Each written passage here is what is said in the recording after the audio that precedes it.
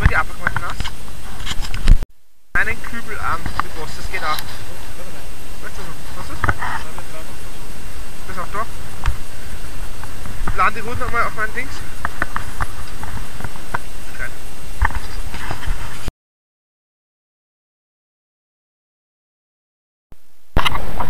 Der Ulrich sagt uns jetzt wieder, was eine Forelle herrei- her herrichtet. Der Meister, Meisterchefkoch. Einfach beim Arsch eine, beim der Zungen außer. Schön alles Uh. auskratzen drinnen. Alles auskratzen, ne? Auf die Blase aufpassen, relativ weit reinfahren mit dem Finger. Ui, Den Schlund abschneiden. der Schlund ist immer Hund. Haha, Wortwitz. Ha. Einmal aufschneiden. Das ist meiste Blut drinnen. Und mit dem Daumennagel oder mit einem Löffel kann man das schön rauskratzen.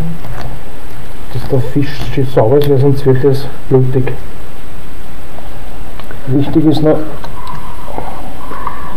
die Kiemen, Kiemen rausschneiden. Weil die Kiemen machen einen bitteren Geschmack. Interessant. Habe ich nicht gewusst. Aber beim Räuchern muss man es immer rausschneiden. Beim Braten ist es nicht so wichtig, aber ich schneide das immer raus. Herr Ulrich, ich muss dir ein Kompliment machen, du machst das wirklich gekonnt. Normal kann man das mit einem schönen Griffer rausreißen. Dann sind die heraus und da braucht man nicht schneiden. So.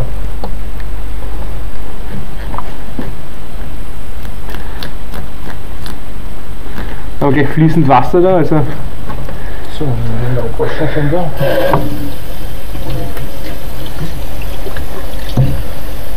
Warmwasser, Luxus. Aber ja, in der, in der Wildnis von Alaska geht das natürlich nicht. Und bitte nicht die Forellen schuppen. Nicht schuppen? Nein, Nein, nicht schuppen. nicht schuppen. Oi. Das ist ein Verbrechen. Wie viele Jahre Haft bekommt man für Forellenschuppen? Das ist ein riesen Fauxpas. Fauxpas. Oho, Ja, die mich. Stepper, die Forelle hast das aber echt gut gemacht, muss ich sagen. Ich muss schauen, ob wir überhaupt ein Padel haben, was zu groß ist. Oh ja, kriegen wir schon was. Wir her?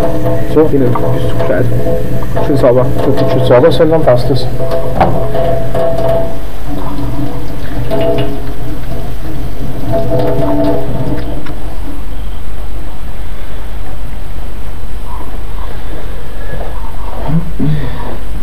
Das heißt, das hat aber nicht ordentlich gemacht, da ist noch was drin. Ja, das wird dann mit dem Skalpell herausgekratzt. ah ja, klar. Das, das, schlägst dann, das schlüpft dann raus.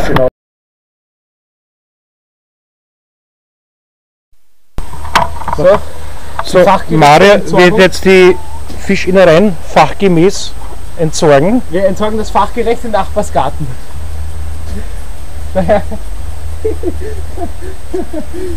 Und Schuss.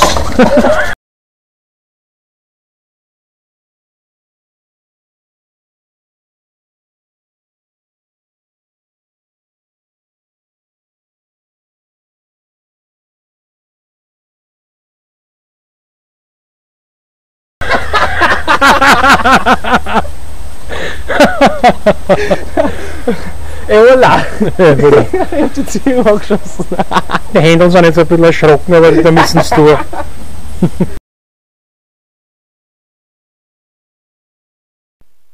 Was machen wir? So. Pfeffer, Ja? Salz, Salz, Mehl, Mehl, Bier. Bier. Das Wichtig. Bier ist wichtig. Muss kalt sein. Mahlzeit. Prost. Ah, Ja. ja. Die Alufolie deswegen. Wir geben jetzt ein bisschen Mehl drauf. Oh ja. Wir könnten die Forelle auch mit ein paar Kräuter reingeben. Heute haben wir sogar da, glaube ich. Aber wir werden die Forelle schön Natur machen, dass wir den Naturgeschmack haben. Natur.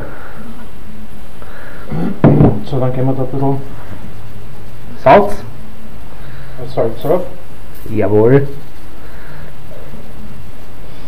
Das Mehl ist deswegen da, dass wir nicht die Haut ronieren von der Forelle. Okay. Wir werden das in einer nicht beschichteten Pfanne rausbraten. Hast du nicht viel, oder? Ich, der Koch sagt, wie viel Pfeffer das ist. Jetzt nehmen wir die schön putzte Forelle, legen wir es einmal da rein.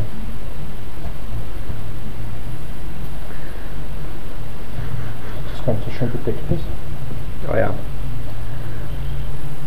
Drinnen geben wir noch ein bisschen Salz rein. Salz. Wichtig. Pfeffer brauchen wir keinen mehr. Überflüssig. So, schön die Schwanzflossen, weil das ist das Wichtigste. Weil die sind am besten. Mein Opa isst die auch immer. Wenn die schön knusprig sind, sind das wie Chips. Das kann man essen, bis die harten Gräten kommen, ist das Beste, was es gibt. So, jetzt lassen wir das kurz liegen, jetzt machen wir die Pfanne mit Öl heiß. Mhm. Öl. Wie viel? Aber da ist noch Wasser drin, das muss ich noch ein bisschen auslösen. Olivenöl. Okay. Moment. Oh ja. Nein, ich hab mir gedacht, noch Sonnenblumenöl, aber ich mache alles mit Olivenöl. Ich sehe Das was. Was du am besten merkst, wenn es fett heiß ist, wenn du da nicht spuckst.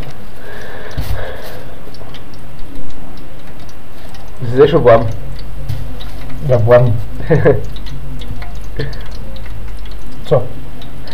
Gehen wir die Forelle vorsichtig rein. Muss doch der Quer anlegen bisschen. Ja. Ja. So, und jetzt langsam braten. Auf einmal fängt es an zum Hupfen. Wo ja frische Forelle ist ja blöd zum Braten, Warum? weil sie sich aufbirgt. Ja. Eine gefrorene Forelle ist immer besser. Die frische schmeckt halt besser. Ja, muss aber auch nicht sein. Ich habe das oft schon gehabt bei Fischen und so so reingemacht. Auf einmal haben sie sich hochgebogen wie ein Uhrhagel. Ja. Ja.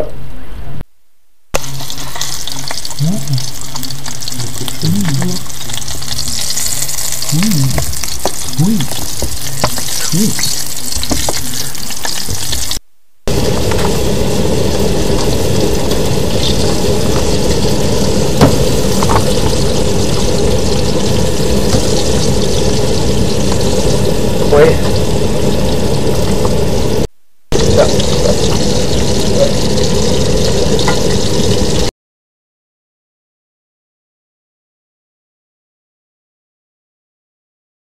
Oh, die kommt.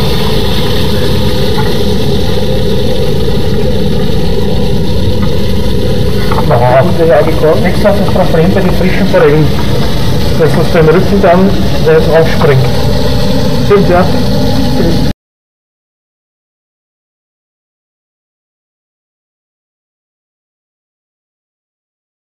Weil.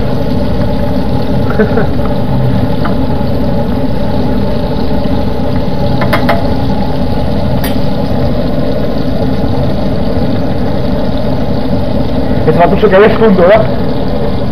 Halbe Stunde? Halbe 35 Minuten. Ah, 45 Minuten. Oh ja.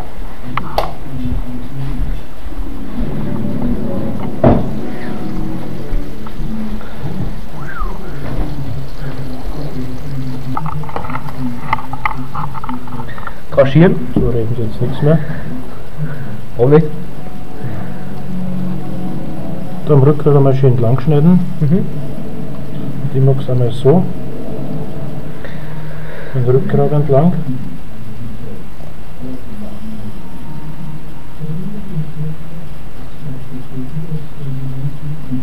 Dann kann man das schön wegschieben. Dann kann man das aufklappen schön. Uh. Und dann einfach das Rückgrat rausziehen, gell? Na, und dann brauchst du es nur umdrehen. Oh, das ist gefinkelt. Ui, ui. Ja. Weißt du, dass man mit der Kamera das Teil sogar noch im Winkel hat? Im Blickwinkel? Das was? Das Teil ist sogar noch im Blickwinkel der Kamera. Danke. So, und das andere. Ziehen wir so runter da.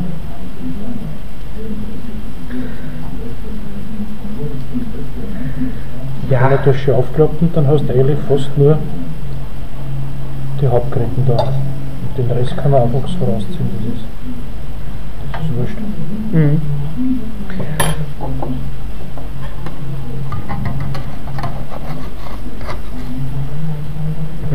Gourmet-Koch,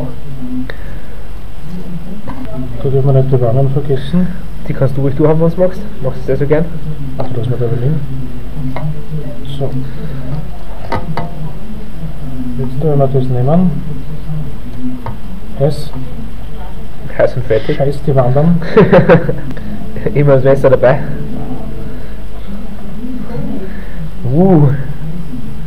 Aber was geht, bring mir einen Teller bitte. Ja, okay. Dann kannst du die auch hinhauen.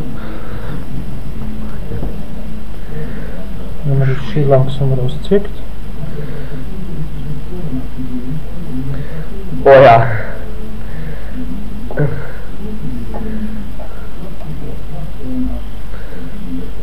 So, jetzt haben wir den Rest da drinnen.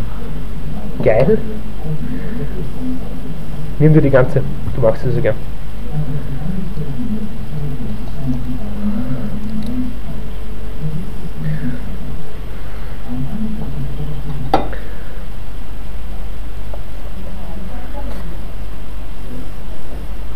Hast du weiter drin, oder? Na, aber sonst sagt sie sich zu viel mit Fett an. Das Okay. ist zwar nur Olivenöl. Olivenöl. Olivenöl. Olivenöl.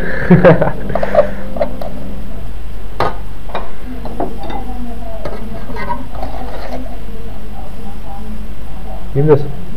Nimm das, ich habe ja so viel. Ja, die sind mir eh den oberen Teil. Okay.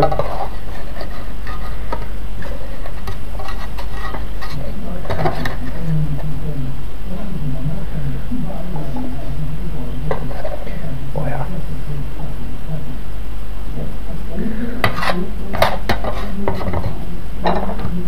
Also dann. An guten. Wir lassen uns das schmecken und wir sehen uns das nächste Mal. Ciao, macht's gut.